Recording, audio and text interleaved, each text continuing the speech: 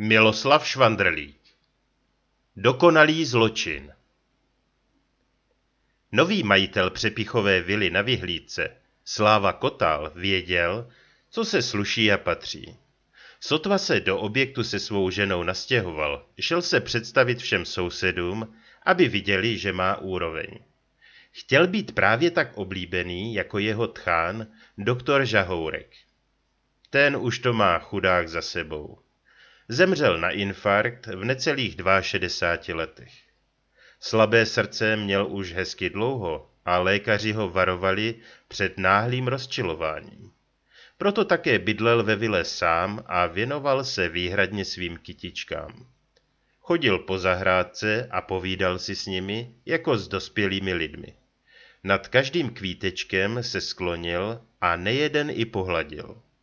Byla to jeho jediná a veliká radost. Nikdo si nemyslel, že to usměvavý pan doktor vezme tak zkrátka. Ale stalo se. Sotva před měsícem vyšel z rána na zahrádku a z ničeho nic se svalil mezi své miláčky. Byl konec. Vilu se zahrádkou samozřejmě zdědila jeho dcera, hlučná a věčně rozesmátá osoba. Doktor Žahourek její temperament těžko snášel, ale daleko víc jí zazlíval její sňatek se Slávou Kotálem. Tenhle člověk se mu ani trochu nelíbil. Ničím se nevyučil, nic nevystudoval a také nic doopravdy neuměl. Živil se ovšem velice dobře. Pracoval v umělecké agentuře a dovedl leckoho protlačit nebo alespoň popostrčit. Pochopitelně ne zadarmo. Taky trochu vexloval a exponoval se při bytových výměnách. Doktor Žahourek tento typ úspěšných lidí absolutně nesnášel. Kde by ho napadlo, že tak záhy bude sláva kralovat i v jeho luxusní vile? Tohle všechno věděl i pan Tambor, čtenář a znalec detektivních románů. Nyní si pozorně prohlížel slávu Kotála, který se přátelsky usmíval. Jsem váš nový soused, řekl, a věřím, že spolu budeme dobře vycházet. Není nic trapnějšího než lidé, kteří se denně potkávají, nemohou jeden druhému přijít na jméno a dělají si navzájem na schvály. Máte pravdu, přikývl Tambor. S doktorem Žahourkem jsme si báječně rozuměli. Strašně jsem obdivoval tu jeho překrásnou zahrádku. To není jenom kousek přírody, to je opravdické umělecké dílo. Vy asi zálibu v květinách nemáte, nebo se snad mýlím? Nevím, jak odpovědět, usmál se Sláva. Kitky mám docela rád, ale takový fanda, jako byl Tchán, samozřejmě nejsem. Ani nevím, kde bych na takovou piplačku vzal čas. Takže tu květinovou zahradu zrušíte? Zřejmě ano. Prohlédl jsem si všechno kolem vily a zdá se, že budu moci realizovat všechny své představy. Vejde se sem dobře bazén, tenisový kurt a minigolf. Prodáme chatu a přátele budeme zvát sem. Ušetříme tak spoustu času a zrekreujeme se stejně dobře jako na venkově.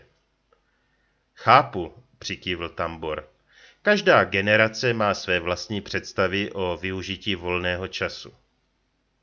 Pokud byste měl snad zájem o nějaké kytičky, řekl Sláva, klidně si je přijďte vyrypnout. Budete je mít gratis. Má je zahrabat buldozer? Když nový vládce vily na vyhlídce odešel, měl Tambor naprostou jistotu, že právě hovořil s vrahem. Podezření měl už ve chvíli, kdy spatřil doktora Žahourka ležet mezi kytičkami. Tehdá je ovšem nevyslovil, protože šlo zřejmě o velice rafinovaný a těžko prokazatelný čin. Nález lékaře byl také zcela jednoznačný a infarktu je kolem nás jako hub po dešti. Tak jaké pak dohadování a uvažování o jiné možnosti? Jediný tambor si okamžitě všiml, co bylo bezprostřední příčinou srdečního selhání u doktora Žahourka. Milovník květin vyšel na zahrádku, zřejmě v dobré pohodě. Usmíval se a chystal se k obvyklému, poněkud dětinskému monologu. Pak však pohlédl na záhon a situace se rázem změnila. Tam, kde včera byly ještě unikátní květiny, se nyní vršily černé kopečky hlíny. Krtek. Doktor Žahourek se rozrušil tak, že začal prudce dýchat a chytil se za hruď. Potom klesl mezi své milované a nenahraditelné kamarády. Vypadá to sice jako náhoda, ale je to vražda, uvažoval Tambor. Krtek není nijak exotické zvíře a může se docela dobře objevit na zahrádce. Tady ho však nepamatuji nejméně deset let. Kytičkáři byli při jeho likvidaci velmi důslední. Kde se tu tedy najednou vzal?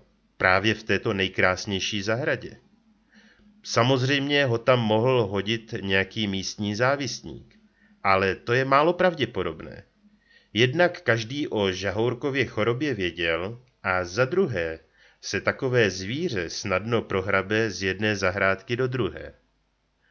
Důvod musel být zřejmě daleko pádnější. Vila a v ní jediný obyvatel. To muselo jistý typ člověka přímo dráždit. Zvláště když dotyčný věděl, jak málo může stačit k tomu, aby se vila uvolnila pro něj. Tambor usilovně vzpomínal a vybavoval si všechny okolnosti kolem doktorovy smrti. Ta má zatracená lenost, zahučel potom trochu nešťastně. V noci, vlastně už k ránu, projíždělo tehdy naší ulicí auto. Nečekaně zastavilo právě před Žahourkovou vilou. Kdybych vyskočil z postele a podíval se z okna, mohl jsem vidět to, co bych nyní už nikdy tomu člověku nedokázal. Jsem si jist, že auto stálo před domem pouhých několik vteřin. Potom odjelo.